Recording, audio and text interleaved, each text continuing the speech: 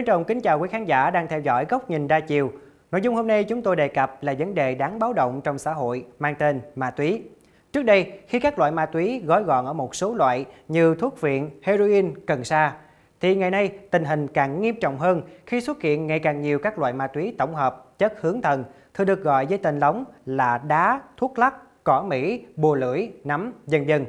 Nhiều loại ra đời, người bán bất chấp, còn người sử dụng càng ngày càng nhiều và càng lúc càng trẻ quá.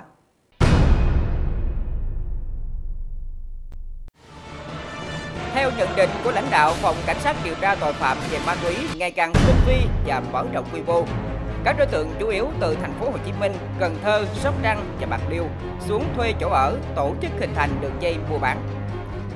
Đặc biệt vào ngày 12 tháng 4 năm qua, triệt xóa đường dây mua bán ma túy lớn nhất từ trước tới nay, thu giữ hơn 134 gram ma túy đá và gần 180 triệu đồng tiền mặt cùng nhiều tăng vật khác.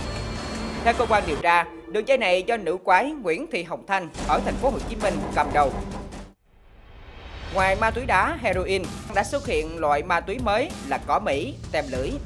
Đặc biệt, độ tuổi người nghiện ngày càng trẻ quá, có khi là thiếu niên 14 tuổi đang chơi ma túy. Đáng lo ngại hơn, học sinh, sinh viên ở các trường học là con mồi béo bở từ các đối tượng buôn bán ma túy hướng tới, nhất là ở vùng sâu, vùng xa. Sáu đối tượng này có tuổi đời còn rất trẻ, chỉ từ 16 đến 19 tuổi, gồm Lê Quỳnh, Phương Liên, Tài Đức, Hồng Cẩm, Văn Hậu và Huyền Trang, vừa bị công an Phú Quế, huyện Long Hồ, tỉnh Vĩnh Long ra quyết định xử phạt vi phạm hành chính do sử dụng ma túy.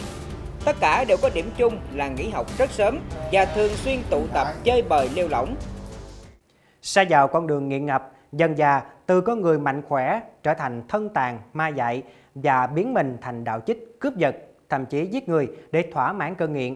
Và cũng không thiếu những vụ án mạng thương tâm do sự ảo giác của ma túy không thể làm chủ được mình. Sau đây là những vụ án điển hình. Qua thống kê của Cục Cảnh sát điều tra tội phạm về ma túy, sự gia tăng của tệ nạn này là một trong những nguyên nhân làm tăng một số loại án hình sự và hoạt động phạm tội.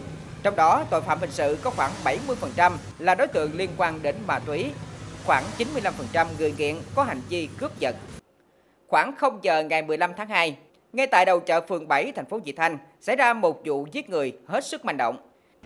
Sau khi dùng hung khí truy sát một thanh niên tên Thái gục tại chỗ, các đối tượng đã nhanh chóng rời khỏi hiện trường. Qua điều tra, chỉ vài giờ sau, Công an tỉnh Hậu Giang bắt được hai đối tượng nghiện ma túy là Trần Chí Hiếu, 24 tuổi, và Ninh Quốc Linh, 29 tuổi, cùng trú tại thành phố Vị Thanh. Tại cơ quan công an, bước đầu các đối tượng khai nhận vì không đòi được số nợ 7 triệu đồng, chúng đã truy sát nạn nhân. Dạ, tại trước lúc đó là em đã sử dụng ma túy rồi. Dạ, lúc sử dụng vô là em sẽ nhớ là những cái lời nói của bà Thái kích động em á.